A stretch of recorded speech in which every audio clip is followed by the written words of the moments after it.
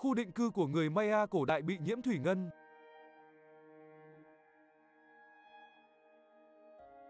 Sử dụng chu sa trang trí và nghi lễ. Người Maya cổ đại ở Mesoamerica sử dụng thủy ngân, chủ yếu là chu sa, cho các mục đích trang trí và nghi lễ, theo một nhóm các nhà khảo cổ học từ Úc, Hoa Kỳ và Vương quốc Anh. Thủy ngân là một chất ô nhiễm độc hại ảnh hưởng đến sức khỏe con người và hệ sinh thái. Nồng độ thủy ngân tăng cao trong các hệ thống bề mặt của hành tinh chúng ta chủ yếu liên quan đến quá trình công nghiệp hóa và đô thị hóa ngày càng tăng. Tác động đến môi trường Các hoạt động khai thác và sản xuất điện từ nhiên liệu hóa thạch cũng là nguyên nhân gây ra ít nhất một nửa lượng phát thải thủy ngân toàn cầu hiện nay. Vòng tuần hoàn của thủy ngân trong môi trường được thúc đẩy bởi các khí thải hiện đại, nhưng cũng bao gồm cả thủy ngân di sản được tái huy động từ các hoạt động của con người trong quá khứ.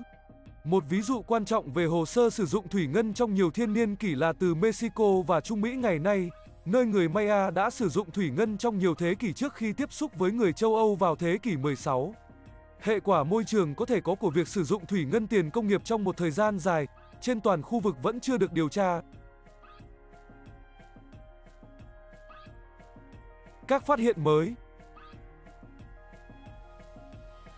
Tiến sĩ Đăng Cần Cúc một nhà nghiên cứu tại Đại học Công giáo Úc cho biết, ô nhiễm thủy ngân trong môi trường thường được tìm thấy ở các khu đô thị hiện đại và cảnh quan công nghiệp. Việc phát hiện ra thủy ngân được chôn sâu trong đất và trầm tích ở các thành phố Maya cổ đại là điều khó giải thích, cho đến khi chúng tôi bắt đầu xem xét yếu tố khảo cổ học của khu vực, kết quả cho chúng ta biết rằng người Maya cổ đại đã sử dụng thủy ngân trong nhiều thế kỷ.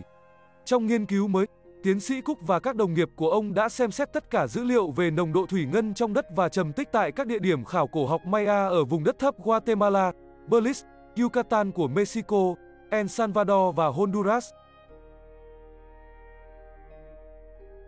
Họ phát hiện ra rằng tại các địa điểm như Chunchumin, Marco Gonzalez, Chanbi và Echuncan ở Belize, La Corona, Tican, Petén Isa, Piedras Negre và Canquien ở Guatemala, Pamarejo ở Honduras và CN ở El Salvador, ô nhiễm thủy ngân có thể được phát hiện ở khắp mọi nơi, ngoại trừ Chanbi.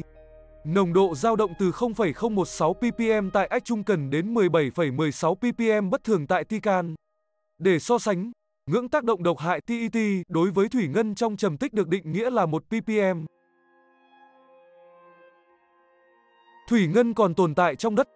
Các nhà nghiên cứu cho biết, người Maya cổ đại thường sử dụng chu sa, sơn và bột có chứa thủy ngân để trang trí. Thủy ngân này sau đó có thể đã ngấm ra từ hàng hiên, sàn nhà, tường và đồ gốm, sau đó lan vào đất và nước.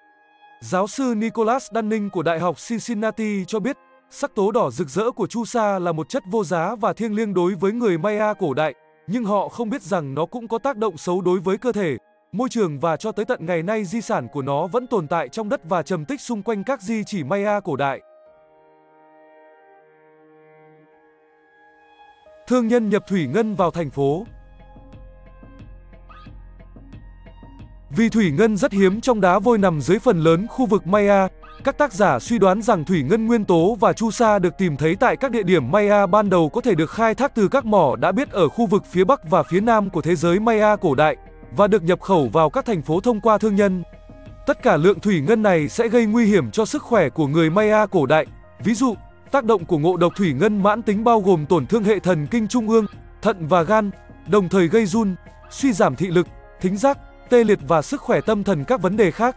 Một trong những người cai trị Maya cuối cùng của Tican, Daksun, người trị vì khoảng năm 810 CN, được miêu tả trong các bức bích họa là một người béo phì bệnh lý.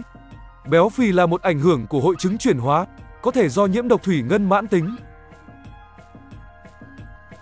Nếu bạn thích video này, hãy bấm like và đăng ký kênh để ủng hộ chúng mình. Cảm ơn và hẹn gặp lại bạn trong những video tiếp theo.